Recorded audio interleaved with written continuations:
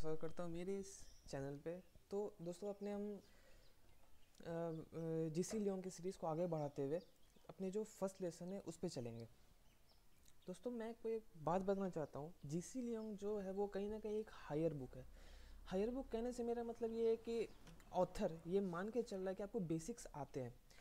तो उसने बेसिक्स को स्किप कर दिया है। लेकिन दोस्तों, आपको परेशान होने की बिल्कुल ज़रूरत नहीं है। मैं आपको इसमें सब कुछ बेसिक से ही बताऊँगा। जो भी बेसिक टर्म्स हैं, मैं आपको वो पहले एक्सप्लेन कर दूँगा ताकि वो आपको आगे चल के प्रॉब्लम ना दे। तो इसी के साथ दोस्तों, पहले अपन देखेंगे सर्कल्स ऑफ़ लैटिट्यूड तो सर्कल्स ऑफ़ लैटिट्यूड हम लैटिट्यूड और लॉन्गिट्यूड दोस्तों, इन दोनों चीज़ों में लोगों को बहुत प्रॉब्लम होती है तो मैं आपको इसको डिटेल में बार समझा देता हूँ। दोस्तों सर्कल सर्कल पहले लैटिट्यूड को अपन देखेंगे। देखिए लैटिट्यूड को समझने का सबसे अच्छा तरीका मेरे पास ये है, ये फिगर है। दोस्तों, ये फिगर मैंने जी सी की किताब से ही उठाई है। तो दोस्तों, जब आप ये जो आप देख रहे हैं, ये वाली, ये नॉर्थ पोल हो गई, ये साउथ पोल हो गई।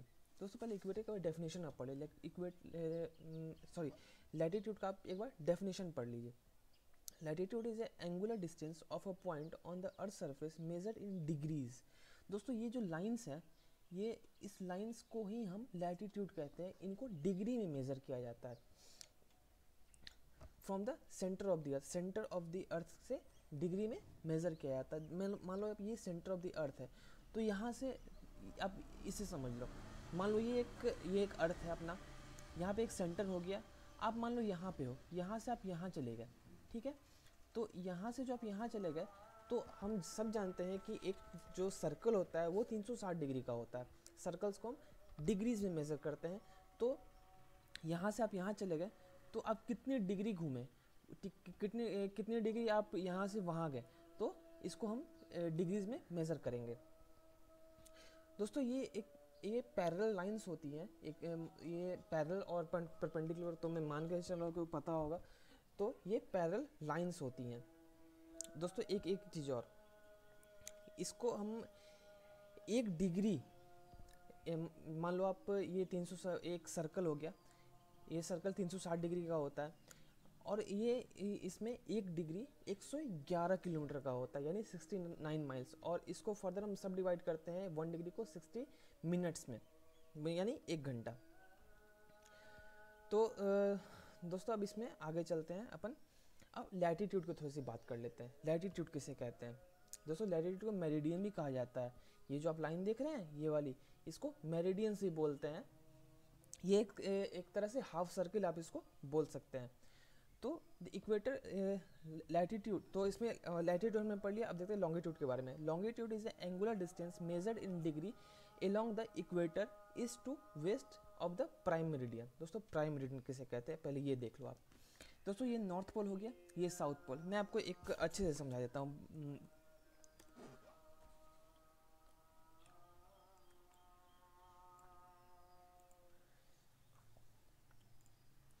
आप ये देख लो, ये नॉर्थ पोल ये साउथ पोल यहाँ से आप सीधी रेखा खींचो। दोस्तों, ये सीधी तो नहीं होगा आई एम सॉरी लेकिन ये आप सीधी रेखा खींचो। इस सीधी रेखा को अपन, हम बोलते हैं प्राइम मेरिडियन इसी को हम बोलते हैं प्राइम मेरिडियन प्राइम मेरिडियन के अलोंग जो भी जो भी चीज़ें होंगी, उसे हम इसके अलोंग ये सर्कल्स बनाते हैं। ये कहीं कहीं हाफ़ सर्कल्स होते हैं। तो इसे हम बोलते हैं लॉन्गिट्यूड तो अब अब अब अब इसमें तो दोस्तों इसको प्राइम मेरिडियन बोलते हैं और इसको और इसी को आ, ये हाफ़ सर्कल्स होती है। अब आप बोलोगे सर लॉन्गिट्यूड की ज़रूरत क्यों पड़ी? हमें इसकी क्या ज़रूरत थी? दोस्तों बहुत ज़रूरत है हमें इसकी। इसी की वजह से हम कहीं कहीं का भी लोकेशन पता कर सकते हैं, किसी भी सिटी का। दोस्तों, आज के ज़माने में जीपीएस आ गया। दोस्तों जीपीएस उसी पे काम करता है। लॉन्गिट्यूड और लैटिट्यूड पे ही काम करता है। उसी के थ्रू आप अपना लोकेशन बता सकते हो, किसी भी जगह का लोकेशन बता सकते हो। आप जैसे दिल्ली का, मैंने यहाँ एग्ज़ाम्पल लिया लोकेशन ऑफ़ दिल्ली। दोस्तों, दिल्ली का location 28 degree 37 minute north and 77 degree 10 minute east ये दिल्ली का लोकेशन हो गया। ठीक है? इसी से आप लोकेशन बता वो जो इंटरसेक्टिंग लाइन होती है ना, मैं आपको एक मिनट दिखा देता हूँ। दोस्तों, ये इंटरसेक्टिंग लाइन्स होती है। यहीं पे यहाँ पे एक लाइन इंटरसेक्ट करती है। तो ये देखिए, ये पॉइंट हो गया। ये point of point located at forty degree north thirty degree west दोस्तों, इस पॉइंट से ही हम किसी को भी लोकेट कर सकते हैं। और दोस्तों, देखो ये इसको मेरिडियंस में वो कहा था लॉन्गिट्यूड को मेरिडियंस भी कहते हैं।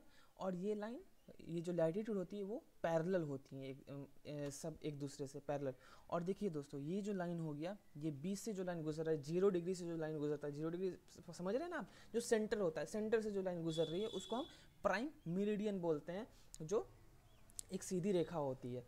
ठीक है? चलिए दोस्तों, बहुत बढ़िया बात है, समझ में आ गया होगा आपको? बिल्कुल समझ में आना चाहिए।